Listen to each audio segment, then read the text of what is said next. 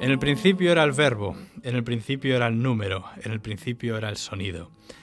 Me llamo Gaspar Calvo y esto es un canal sobre la metafísica de la música. Para comenzar con este tema es necesario un contexto. El ser humano siempre ha querido trascender a su tiempo, asegurándose su inmortalidad en el ciclo eterno de muerte y renacimiento, y lo ha hecho a través de la cultura, la tradición oral o escrita, que engloba desde los mitos, los ritos hasta las costumbres domésticas, ha servido para este propósito. La música como método de transmisión de la cultura ha tenido siempre un lugar principal. En este vídeo vamos a abordar las generalidades de este tipo de camino para la música, para definir bien de qué se trata y que sirva esto para sucesivos vídeos. ¿En qué consiste?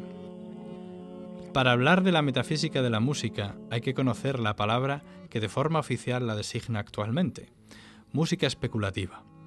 También, no obstante, se la llama música pitagórica en honor al famoso iniciado griego.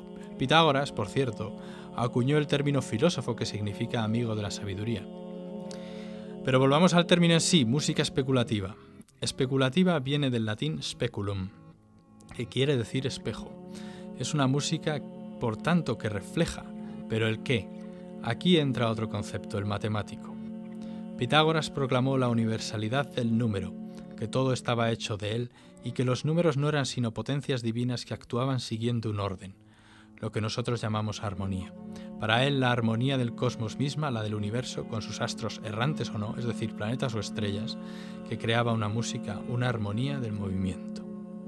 La belleza de este concepto es inefable hasta el punto de que la armonía de las esferas, como lo llamó Pitágoras, ha cautivado a científicos filósofos de todos los tiempos. Ahora vamos al tercer concepto. Teníamos en primer lugar la idea de espejo, segundo la idea de armonía cósmica y ahora la unión con la mística o la mística. En el principio de correspondencia atribuido a Hermes, lo que es arriba es abajo, es la base para las religiones, doctrinas y sectas herméticas como lo son y han sido los Rosacruz, la masonería, neoplatonismo y muchas más. Este principio quiere decir que lo de arriba es influyente en lo de abajo y viceversa. La armonía del cielo, por lo tanto, tendría su reflejo en la tierra y la música especulativa sería el arte de reflejar dicha armonía. Baste de momento con esta introducción de qué es la metafísica de la música, de qué es la música especulativa, pitagórica. Como dije, en sucesivos vídeos abordaremos más en detalle las ideas que la conforman, como la música de las esferas, la música en los mitos y sobre todo lo que tiene que ver con la simbología y ritos musicales. Vamos ahora con algunos de los exponentes más notables de esta forma hermética de entender la música. Pitágoras, sin entrar en su biografía, ya que es algo que todo el mundo puede consultar, fue un iniciado en los misterios egipcios de varios cultos, incluido de Yuti o Hermes Tot, dios de la sabiduría, así como conocedor de las doctrinas caldeas que en aquel momento tenían presencia en Persia, donde también viajó. Al fundar su escuela, ya en Occidente, plantó las bases de la música como la conocemos hoy, con la idea innovadora entonces e innovadora hoy de que los intervalos musicales sirven para crear armonías que curan el alma. De esta misma resonancia es su discípulo Platón. Pues Platón continúa con las tesis pitagóricas en un tiempo en el que el pitagorismo es perseguido, pero lo hace con el suficiente encubrimiento como para no ser ajusticiado. La doctrina hermética pasa ahora a definir los modos musicales, que serían escalas cuyo objetivo es el de potenciar las cualidades humanas y fomentar en el ser humano la virtud. Vemos aquí un concepto muy similar al de curación de alma de Pitágoras, solo que apuntando a un estrato menos comprometido, la moral, la virtud, el comportamiento.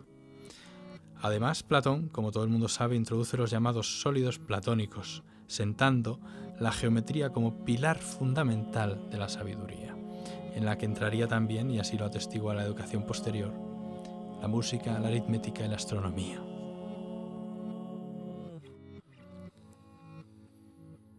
Curación del alma, fomento de las virtudes. 21 siglos más tarde e influenciado por el contexto cristiano europeo, Johannes Kepler busca la forma de relacionar la obra de Dios con los intervalos pitagóricos de la música en el sistema solar. Tomando datos de Tycho Brahe, otro astrónomo, y sus propias investigaciones, escribe el Harmonices Mundi, libro que por cierto tengo en papel, y donde concluye su tesis de la musicalización del sistema solar, esto es, determina por cauces científicos que las velocidades orbitales de los planetas guardan entre sí relaciones musicales de octava, quinta, cuarta, tercera mayor, menor y tono, elaborando una escala mayor y otra menor a partir de los movimientos de los planetas. De esto espero hacer uno o varios vídeos para concretar bien su fascinante descubrimiento. Prácticamente a la vez, Robert Flood construye el llamado monocordio divino, suponiendo que Dios mismo toca las armonías del cosmos y su vibración desciende por un sistema de jerarquías, ángeles incluidos, que acaba por desembocar en el mundo material. De esta índole encontramos ideas gnósticas como los eones y de la mística judía como la Sefirot. Para acabar esta pequeña presentación queda mencionar a Jocelyn Godwin, autor del siglo XX-XXI, que ha devuelto a la luz a muchos de los autores que, en su día, estudiaron la música especulativa con enorme acierto. Godwin es autor, entre otros, de, del maravilloso y fácil de leer Armonías del cielo y de la tierra, el cual recomiendo. Todas estas personas son una muestra del pensamiento de la música especulativa. Todas ellas piensan bajo la misma premisa de que la música refleja la armonía del universo, creando el cosmos que quiere decir orden, contra el caos. Por ello es parte de la estética en Grecia, Roma y tras el periplo de la, de la Edad Media, donde sobreviven diferentes entornos, desemboca en el Renacimiento. Vamos a estar viendo no solo autores, sino ideas, como la relación entre macrocosmos, lo de fuera, y microcosmos, lo de dentro, a través de los intervalos musicales, la música en general. Todo ello pertenece al pensamiento neoplatónico y neopitagórico en su mayor parte, aunque también tiene para quien le interese, influencias del gnosticismo y de la mística judía o kabbalah. Muy bien, esto ha de ser todo por ahora. Dejad vuestros comentarios y participad con vuestras cuestiones en este canal. El objetivo es la divulgación, así que compartid si os ha parecido interesante y yo por mi parte seguiré trabajando en pos de divulgar la metafísica de la música.